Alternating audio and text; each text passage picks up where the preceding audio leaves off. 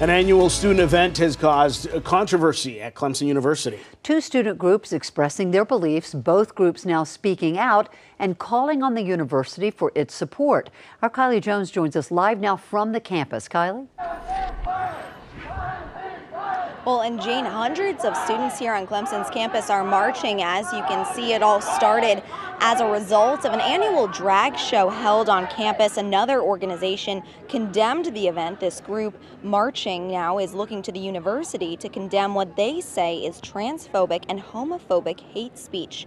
In a statement, the Clemson College Republicans said in part, quote, unsurprisingly, this event was chock full of sexual degeneracy that spits in the face of the Christian population that currently attends Clemson University.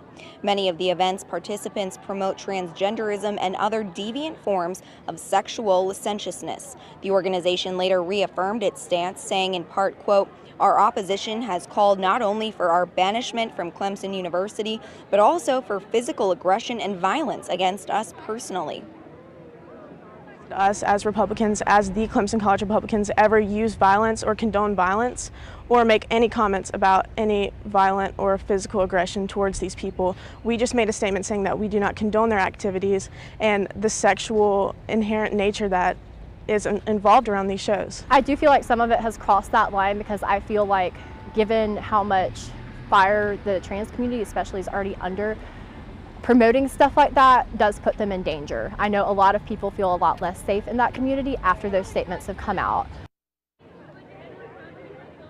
Clemson's Vice President Dr. Christopher Miller addressed reaction to the drag show in an email sent to students this week. He said in part, quote, although we may not agree with individual viewpoints or choices, let's be civil with each other. Student community engagement is a point of pride for the university. We strive to support all students in their wide variety of co-curricular and extracurricular endeavors. And the Vice President also addressed his attendance at and attention to student organizations and events. And he said he strives strives to attend all different student organization events across the political, social, and religious spectrum all throughout the year. For now, live in Clemson, Kylie Jones, WYFF News 4.